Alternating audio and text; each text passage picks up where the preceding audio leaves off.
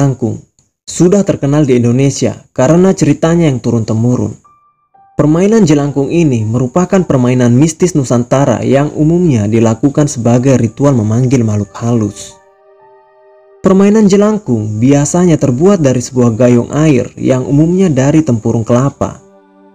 Gayung dan tempurung kelapa ini kemudian mendapat pakaian sehingga seolah-olah seperti boneka. Setelah itu, ada batang kayu sebagai gagang untuk menggerakkan bonekanya. Setelah melakukan beberapa ritual, maka jelangkung tadi bisa bergerak-gerak dan ini menandakan jika boneka ini sudah kemasukan jin atau makhluk halus lainnya. Entah karena sugesti atau memang benar-benar ada makhluk halus di dalamnya. Boneka buatan itu bisa menjawab apa pun pertanyaan kita. Permainan ini menggunakan media yang menempatkan sang makhluk halus seperti batok kelapa dengan batang kayu yang mirip seperti orang. Asal penggunaan istilah jelangkung ini berasal dari kepercayaan tradisional Tionghoa yang bernama Cai Langgong. Ritual Cai Langgong yang berarti dewa keranjang ini menggunakan media berupa sebuah boneka keranjang yang tangannya dapat bergerak. Mereka memanggil dewa seperti nenek moyang mereka untuk masuk ke dalam boneka itu di tangan boneka ini kemudian ada kapur atau alat untuk menulis. Permainan jelangkung pada awalnya hanya untuk sekedar bersenang-senang saja. Namun beberapa orang melakukannya malah untuk meminta pertolongan dan bantuan dari bangsa jin. Oleh masyarakat Jawa, jelangkung namanya berubah menjadi Nini Towok. Sedangkan di daerah Minangkabau namanya menjadi Lukah Gilo. Karena sifatnya yang berupa ritual yang memanggil dan berkomunikasi dengan makhluk halus, Permainan jelangkung yang awalnya sekedar permainan kemudian berkembang memunculkan mitos-mitos hantu atau kesurupan sebagai imbas untuk orang yang memainkan permainan ini. Mitos tersebut umumnya adalah bila permainan ini berakhir tanpa melepas atau berpamitan dengan makhluk halus yang masuk ke dalam boneka. Makhluk halus tersebut dapat menjadi marah. Mereka akan membuat masalah untuk para pemanggilnya.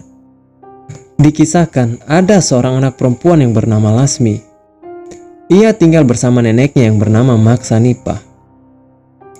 Lasmi kecil kini sudah mulai beranjak remaja.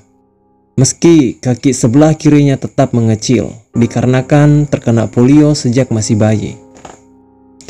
Tapi tetap tidak mengurangi kecantikan yang dimilikinya. Kecantikan yang alami yang diwarisi dari almarhum ibunya Sumina. Lasmi tumbuh bagai bunga yang sedang mekar, postur tubuhnya tinggi, Rambutnya ikal dibiarkan terurai bak kembang bakung. Pipinya meranum seperti buah tomat yang menggoda untuk segera dipetik. Maksanipah, sejak kematian Sumina, anak semata wayangnya itu, praktis harus siap kejatuhan sampur. Ia mesti mengambil alih merawat Lasmi. Dan Maksanipah bukan tidak menyadari bahwa cucunya itu semakin hari semakin mencuri perhatian, khususnya bagi para kaum lelaki yang tukmis.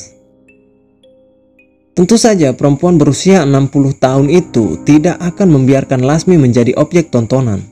Apalagi menjadi bahan obrolan yang bisa jadi menimbulkan pikiran mesum di kepala para lelaki bermata jalang itu.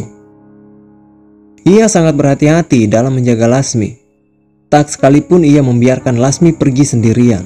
Ke mana pun cucunya itu melangkah selalu dikawalnya. Sementara itu, sudah lama orang-orang menganggap Maksanipa adalah sosok perempuan aneh dan misterius karena hidupnya menyendiri selama bertahun-tahun.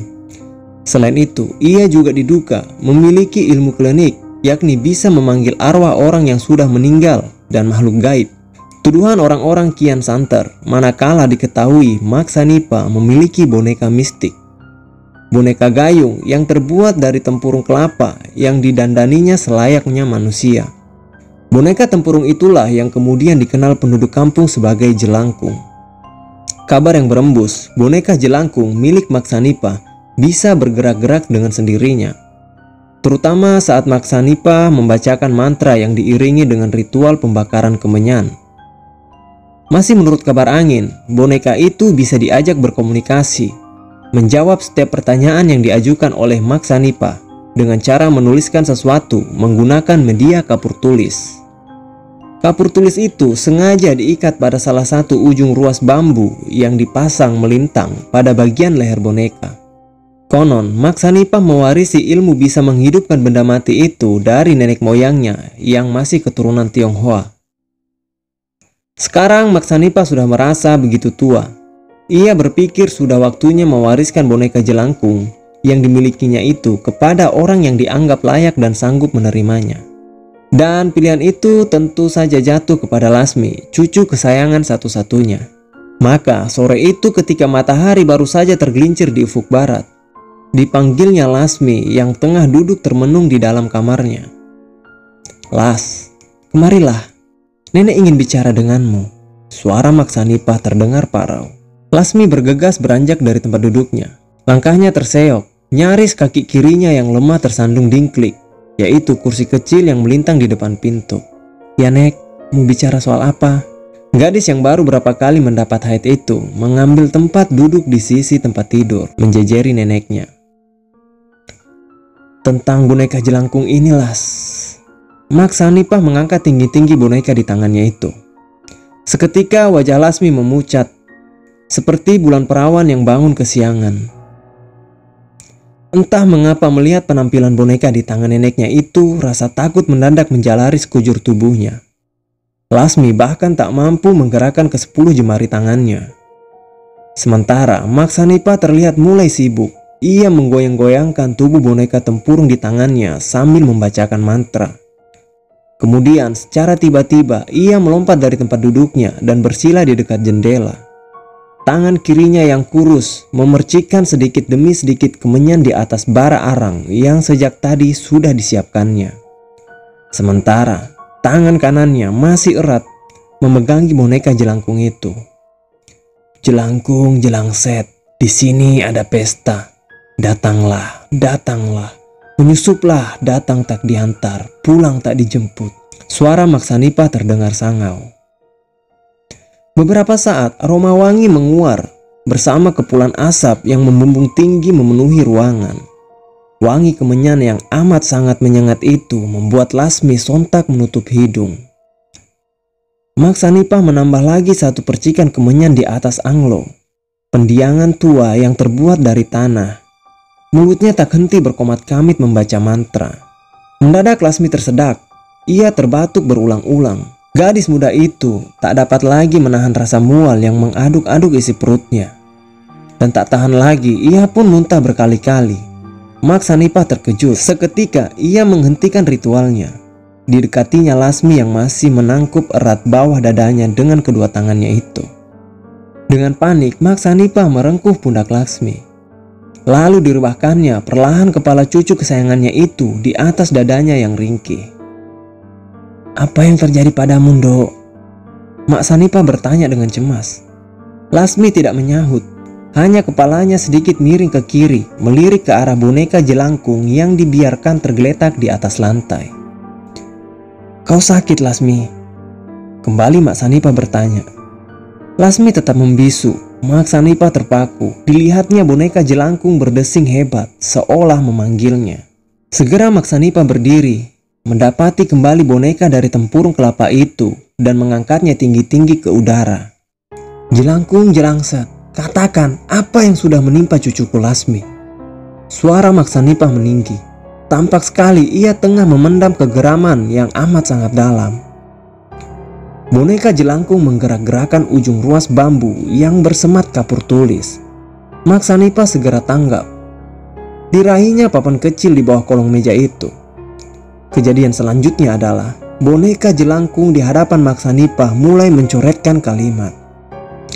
Lasmi hamil. Maksanipa terperengah. Oleh siapa? Maksanipa terpekik dengan suara gemetar.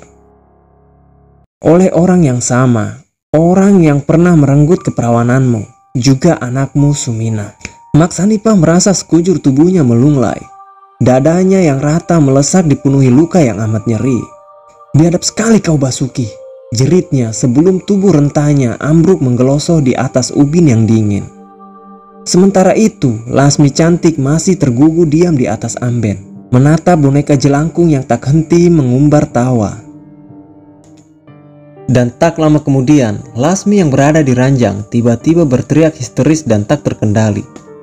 Rupanya Lasmi telah dirasuki oleh sesosok makhluk halus yang tak dikenal. Kadang sosok itu menangis, kadang pula ia tertawa dengan suara yang sangat mengerikan. Maksanipah yang mengetahui cucu kesayangannya itu telah dirasuki oleh makhluk halus menjadi panik bercampur dengan rasa takut. Sementara itu Lasmi tiba-tiba tertawa dengan suara yang sangat keras. Tawanya memekik layaknya sosok kuntilanak. Sosok yang di dalam tubuh Lasmi itu sempat berkata kepada Maksanipah, Gadis ini sudah menjadi milikku sekarang. Maksanipah yang mendengar hal tersebut pun panik yang semakin menjadi-jadi. Ia pun langsung bergegas menuju dapur dan mengambil sebuah kain putih yang terbungkuskan kemenyan di dalamnya. Ia berniat untuk menyelamatkan cucu kesayangannya itu dari makhluk itu. Namun ketika hendak membacakan mantra ke kain putih yang berisi kemenyan itu, tiba-tiba tubuh Maksanipah terpental ke dinding dengan sangat keras. Kepalanya terbentur ke sebuah tiang kayu yang membuat Maksanipah tak sadarkan diri. Jelang beberapa saat, Maksanipa sadar dari pingsannya. Namun betapa terkejutnya dia ketika melihat cucunya yang sudah tak bernyawa lagi. Ketika melihat ke sisi kiri dinding, ia melihat ada sebuah tulisan yang ditulis dari bercak darah. Gadis cantik ini sudah menjadi milikku sekarang. Demikian bunyi tulisan tersebut. Hingga saat ini, permainan jelangkung ini masih sangat populer di beberapa kalangan. Dan beberapa orang beranggapan jika roh yang masuk ke dalam boneka itu adalah roh Lasmi yang dibawa oleh makhluk misterius itu.